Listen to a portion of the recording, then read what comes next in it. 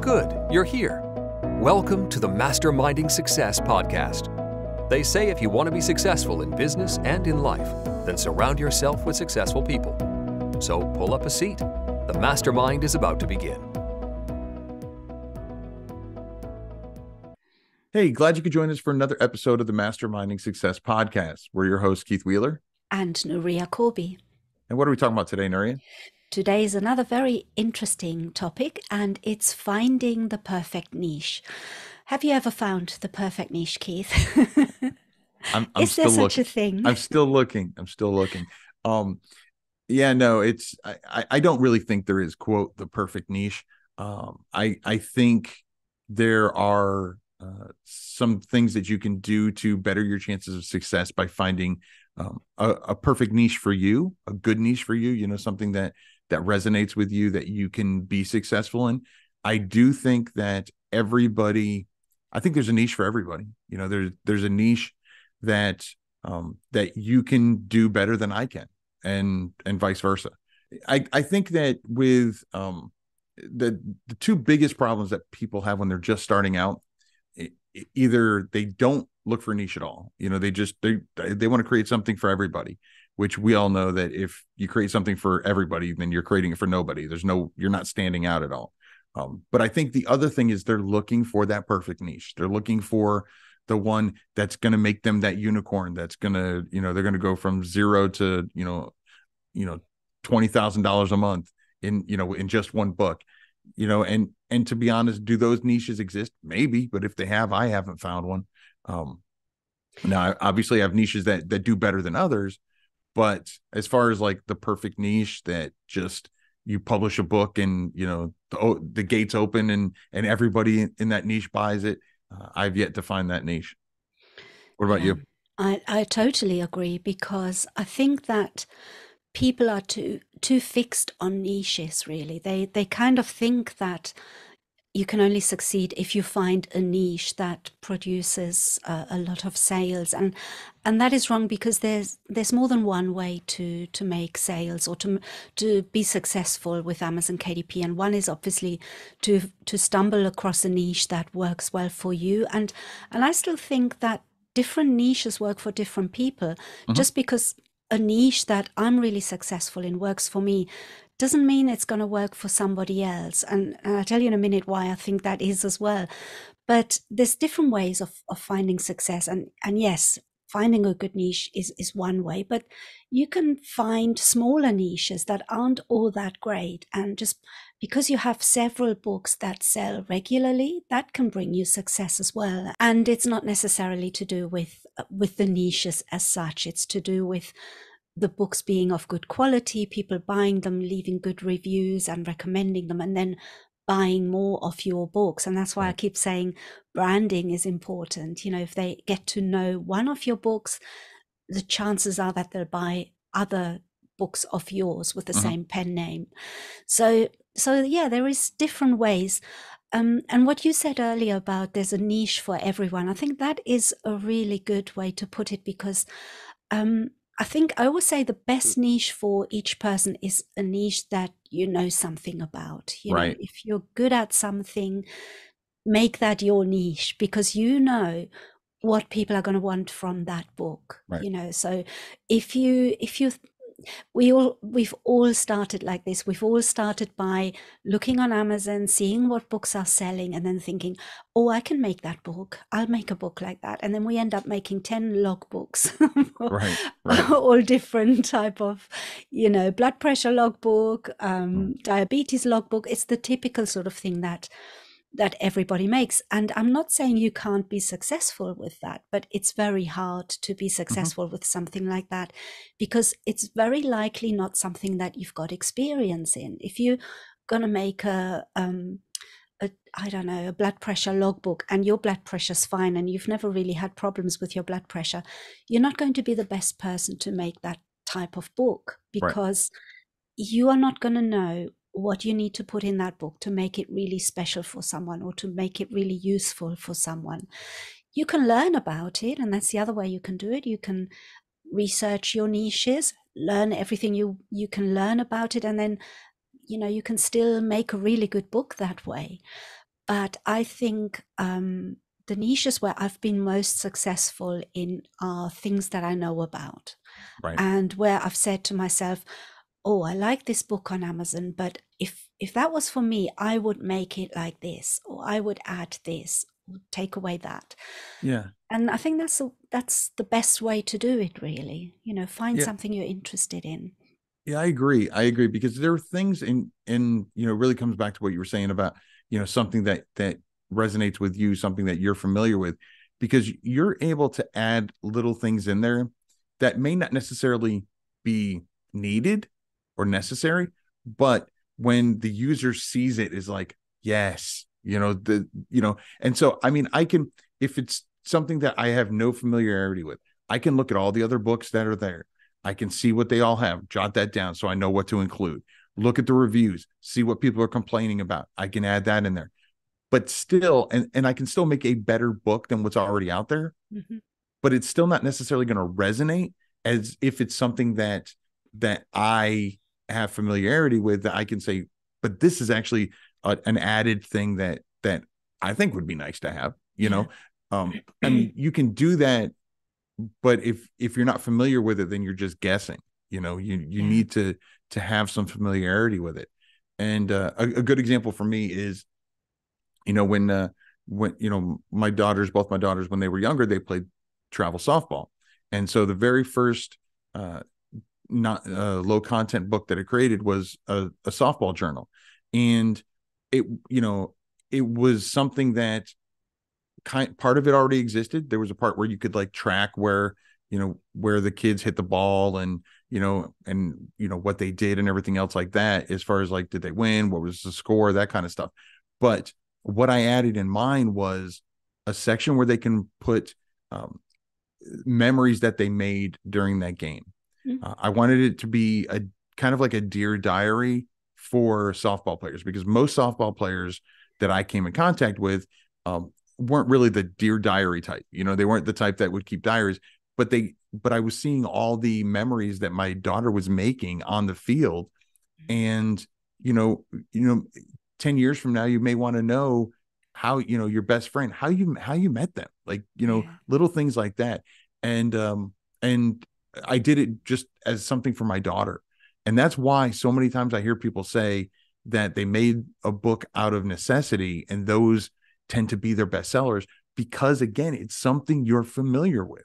Yeah. you know it's something that that you have an intimate knowledge of. And and again another example for it with the softball niche is is that i know that what most people call a home run in softball they call it a dinger. You know that little terminology like that are things that other people most likely that are just researching the niche aren't going to know. Exactly. they're not going to find that out. And no one's going to put in a comment you know in a in a review you know i wish you represent you know i wish you refer to it as a dinger you know? They're not going to say that. But by putting it in there it shows that i know. And and people Mm. when they're using something like that they're not saying oh this person clearly knows this niche you know? They're you know they're just this is something that that they can relate to and if it's something they can relate to not only are they more likely to buy it but they're more likely to to trust you as a brand and buy more of your stuff Absolutely. And like you said, I mean, they're not likely to say, oh, this person really knows this niche. They Right. expect that. You know, it's it's Right. absolutely expected if you buy a book that that book should be what you are looking for. But they will say, oh, this person doesn't know anything Yeah. about this niche when when it doesn't hit the spot. Um, and I think, you know, it's it's funny because so many people ask me like, you know, can you give me a, a really good niche as if it's like a secret or as if it's like and it is a secret in a way because we don't want to tell people what books we publish necessarily because they end up then flooding the market with with lower quality books. And even though they're maybe not as good they still take away from you. I remember that right. um, one of the books that I I made it in KDP with, um, which was in the U, UK market, was a particular book that didn't have much competition, and I think that's why um, I was successful with it because I managed to to get in there at the time, and I made a mistake uh, on a on a video on a past video ages ago where it kind of showed the niche that it was. And uh, the amount of books that came on the market and flooded it, and obviously my sales tanked after that. Mm-hmm. And I even had people emailing me, haha, I know your niche, you know, things yeah. like that. So it's you have to be careful not to yeah. give away your niches because there are people out there that that like to see you fail and they'll do things to to to make that happen. But you know, it's also not a big secret because it's really the magic ingredient if there is such a thing the magic ingredient is you and and your knowledge and what you can bring to the table in making your book so if you want to know what the secret ingredient is you know what your secret ingredient is because you are the best person to know what you're good at right. what you have knowledge about. You know what is there a hobby that you've got? Is there something you do at work that you can make a book about? Is there something that happened to you? Is there um, maybe an illness you you went through? You know it's from your experience that mm-hmm. You can make the type of books that really sell because because you're the best person to to talk about it and to make a book that people can identify with and that people want to buy because they want to find solutions to their problems. It's about solving problems for other people or or helping them solve problems. So that is the magic ingredient, I think. I don't think there's a, a niche as such, but it's what you put into that niche, in any niche. That, right. that is what sells your book. I I, I agree. Um, I think one one thing that I always suggest to people is um, look look in look at yourself look at you know like you said you know the jobs that you do jobs that you've done in the past um, your hobbies and you know jot those down and and see what you know you'd be surprised at how many different things you really know about you know what you know what did you do in school you know e- even if you didn't finish university or college or whatever um you know what what are things that you were interested in? Mm. also you know you can extend that to friends and family you know? You know maybe it's not something that you know intimately as much as something that somebody else close to you does. Uh, but I, I, do think that part of finding the quote perfect niche um, you know you want to look um, when it comes to narrowing down which niche to try or especially when you're first starting out is you do want to look at your competition. You do want to look at um, the the two big things for me are um, the the amount of competition and how are the books that are in that niche how are they selling? Um, i like i like to call it you know do they do you have hungry customers? Do you have people people that are um uh, and you can tell that by looking at the the bsr the bestseller rank and see you know of the books that are in that niche of your competition you know are, are they you know ranking at 1 million or or higher or are they ranking you know super low or somewhere in between? And you know every every guru is going to tell you something different as far as like what your th- threshold should be. My my quick answer to everybody would be um do, make the list that that we talked about you know of things that you're familiar with and and then out of those niches go look and see what you know what the competition is uh see what the average bsr is and pick the one that looks the best to start with um you know i'm not going to give you numeric thresholds because it's different for everybody. It's going to be different for for someone you know like Nuri and I who who have brands um, in in whatever pen name we publish in, um, you know that have been do we've been doing it for years. You know we're able you know our threshold is different than someone who's just now starting out, and so um, you know it, I I have given numbers in the past, but the truth is is when you're just starting out, um, I, I I'm really big in in giving people the best chances of success in this business. Um, I'm not saying, you know, a thousand dollars a month, you know, right out of the gate, but I'm saying you'd be surprised at how good that first sale feels, you know, and, uh, and, and how honestly, after a while, you, you kind, you kind of, uh, forget how good that felt, you know, seeing that sale come in. Um, so that's why I say I'm not even to give a threshold. Um, I, I just say, you know, find out the best combination, the lowest competition, that still has good BSRs. Um, you know, le- less than a hundred thousand. If you if you need a number, I would say less than a hundred thousand average BSR. That means it's selling um, like one a day or one every other day or whatever. But even that, I mean, 150,000, you know, maybe it's selling, you know, once every couple weeks. If you're just starting out, that's that's a good place to start, you know. Um just because a lot of it's going to come with, you know, just getting it done, getting it published, uh, you know, creating something good, getting it published and realizing that that one you just did is probably the worst one you're ever going to do. And um eh, regardless of the quality you put into it, because you're going to continue to grow, you're going to continue to get better. Um, but yes i mean if you if you can create something and your very first one sells even one copy then you're way ahead of many people Yeah, you made some really good points there. I think there are some exceptions as well because um, you mentioned like an, an, a number, hundred thousand. You know, that that's a good a good guide. Um, but sometimes don't let a higher number stop you either because um, when I made that book I talked about, my, my first book that really took off, there was a lot of competition. If I had done research, I would never have published that right book. And it's only because I published that book because I saw a similar book in a bookstore and I thought, oh, I really like this. And I could make one for myself, a- an even better one. And I kind of made it for myself.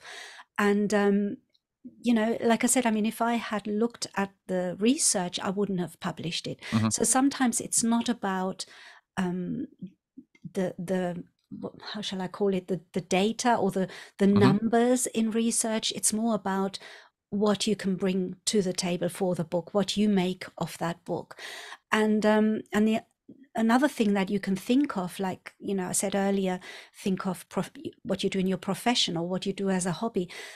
I think another really important factor is your personality because right some people have got a very dry humor, for example. They're very dry and very, or some people are very sarcastic in, in the way they express things. And sometimes that is a real asset if you can put that into a book. And that's why we have so many books on Amazon that do really well, that are quite sarcastic or quite sort of um, offending right. almost, but they're funny.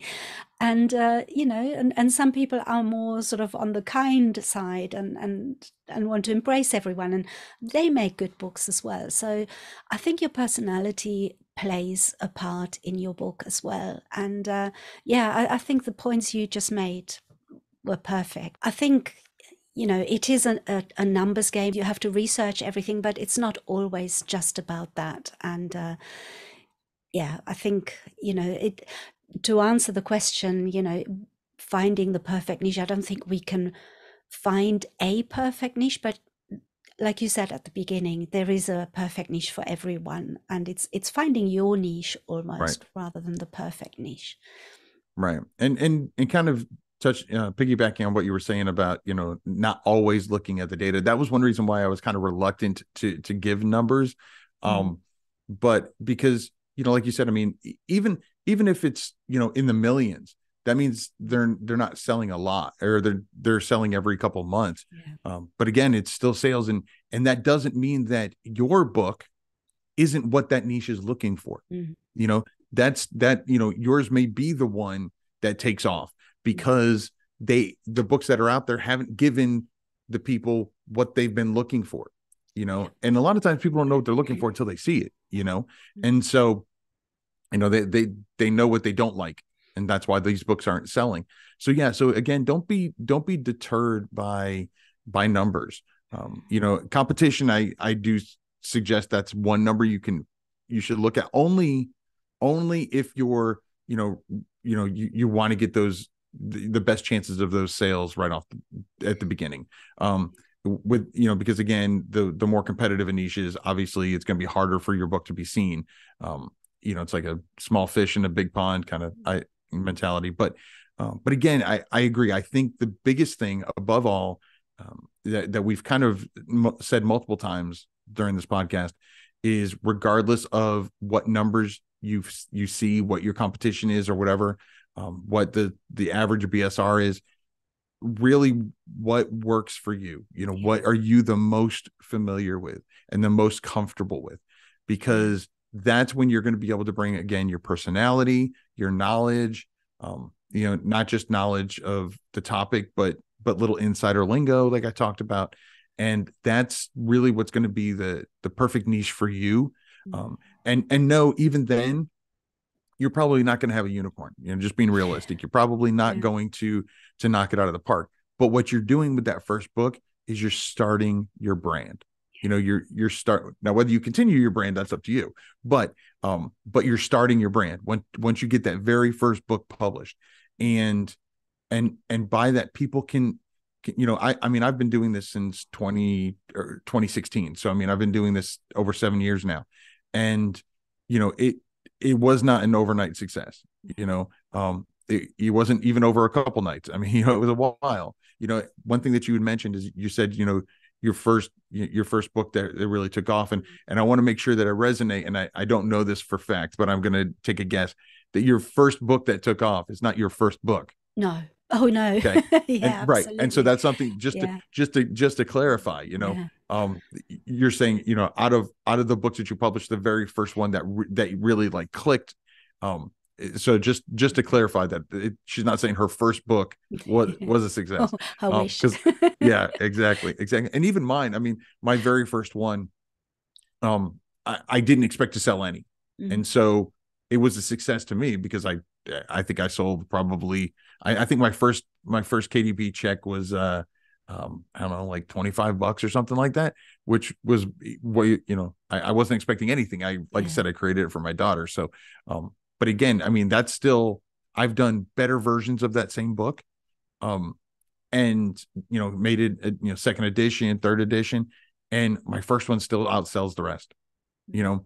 Um it's not the cleanest it's not the best looking um but it resonates the best i guess Yeah. um the other ones i i tried i i basically kind of what you were saying like I, I read into the data a bit too much and and i made it you know i tried to make it more efficient and Yeah. more you know um and and people that are using things don't care about efficiency you know um and, and i know we've talked a lot eh, basically about no content low content books um but the same thing goes for for written books you know um obviously you know you're you're putting more time into it because you're writing it but again finding that perfect niche is the same thing. What are you familiar with? Um yeah before we talked about you know what you know what jobs you had and things like that but you know what kind of what what niches do you like to read? Mhm. you know and because if you read the more you read in that niche the more familiar you are with with some tropes and and things like that. And and not saying that you have to follow those tropes you know you but you can take those same tropes if you don't want to follow them and, and turn them on their head which is a great way to really stand out Yeah. in that same niche. But um but yeah so i mean it's it's still the same thing it's just you know it's just looking at a different area but yeah so it's still what whatever you're the most comfortable with familiar with and um and, and i i find at least for myself those are the ones i take the most enjoyment in making anyway That is know? so true. That is so true because what you know when you just said that wasn't your first book, no, it wasn't. And I did the typical logbooks, notebooks. Actually, I remember the very first book that I made was a budget planner for kids. and uh, that's not an easy book to make f- as your first book, but Right. it was fairly easy for me at the time. And uh, um, and I thought, yeah, this is going to be a winner.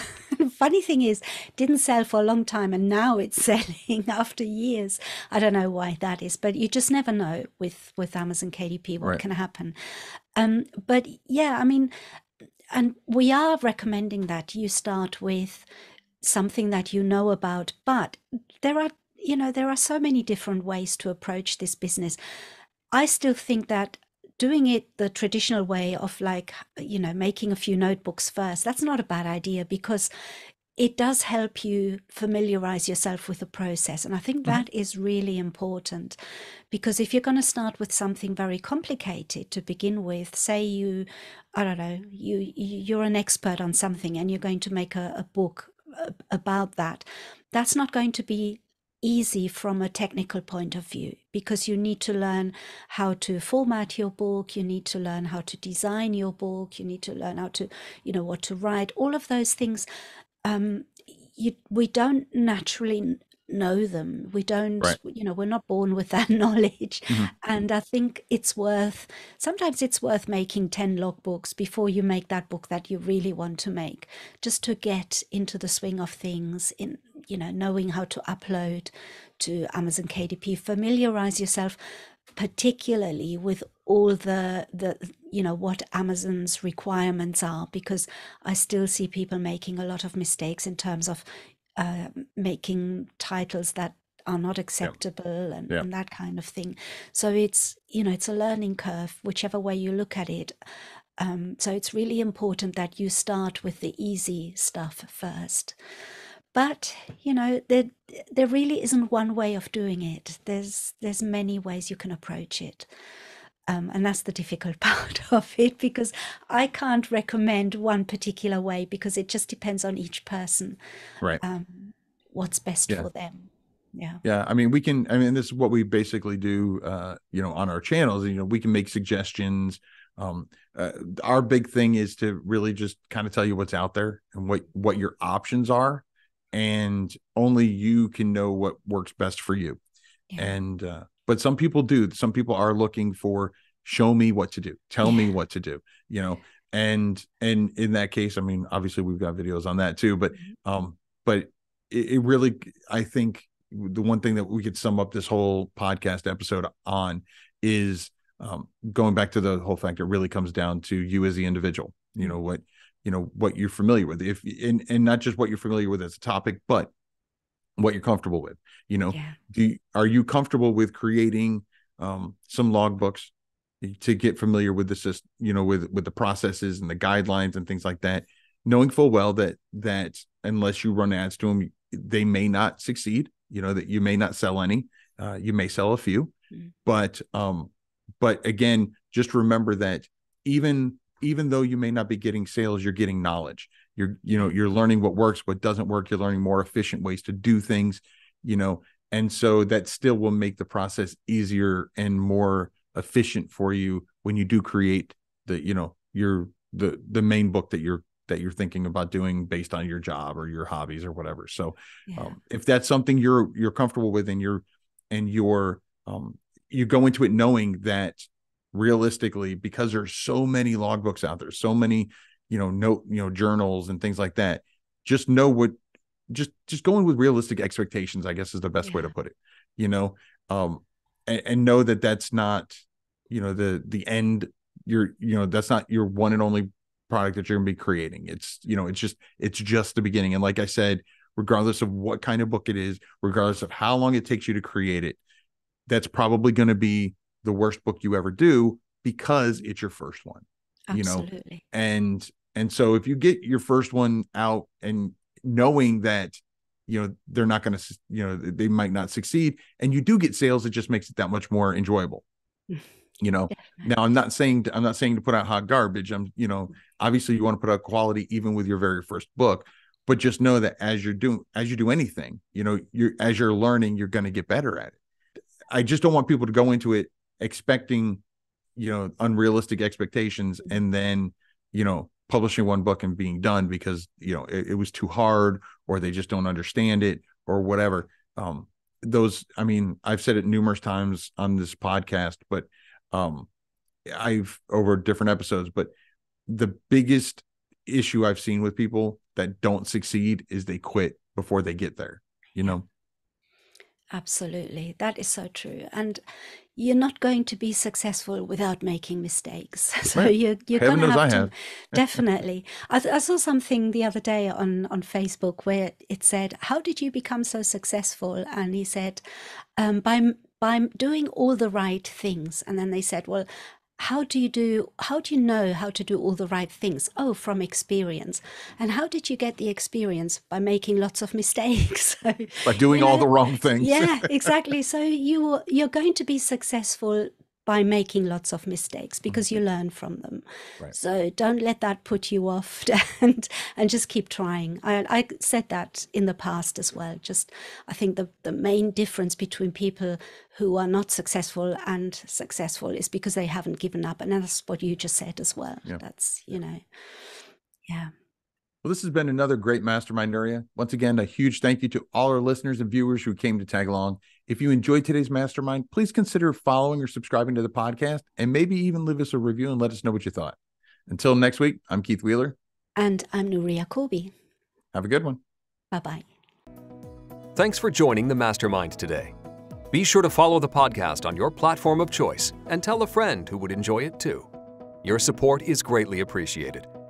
This has been the Masterminding Success Podcast.